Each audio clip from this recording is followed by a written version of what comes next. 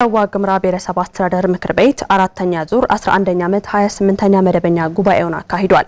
ምክር ቤቱ የብሔረሰብ አስተዳደሩን የ2016 በጀት ዓመት የስራ አፈጻጸምና የ2017 በጀት ዓመት እቅድን የገመገመ ሲሆን የብሔረሰብ አስተዳደሩን አጠቃላይ በጀትም 2 ቢሊዮን 583 ሚሊዮን ብር በማድረግ አጽድቋል። ደጀን ታምሩ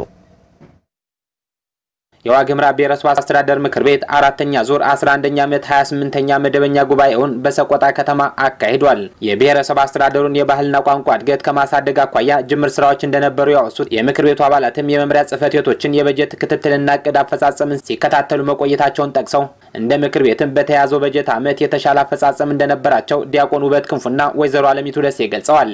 አቅጣጫ በማስቀመጥ እነዚህ ህዝቡ የሚያነሳቸው ጥያቄዎች፣ እቅዶች ያልተፈጸሙትን ግባቸውን እያመላከትን እንዲፈጸሙ ግፊት ስናደርግ የነበረው።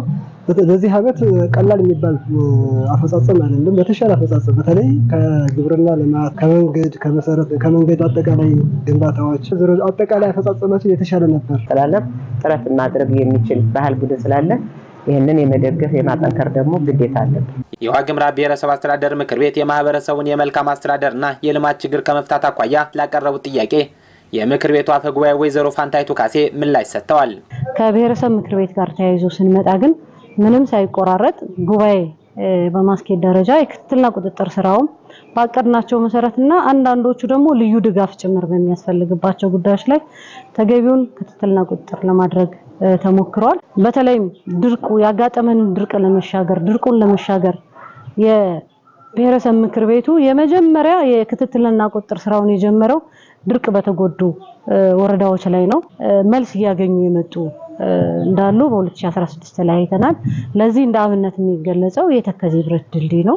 የተከዜ ብረት ድልድይ ውጤታማ ስራ ተሰርቷል። ብረቱ ተጠናቆ አሁን ለትራፊክ ክፍት መሆን የቻለበት ሁኔታ ነው ያለው። በቀጣይ ዓመትም የዋግ ኽምራን አካባቢያዊ ሰላምን በማስጠበቅ በትኩረት እንደሚሰራ የገለጹት አፈ ጉባኤዋ የታቀዱ እቅዶችን በተያዘላቸው ጊዜ እንዲተገበሩ ምክር ቤቱ በትኩረት እንደሚሰራም ገልጸዋል።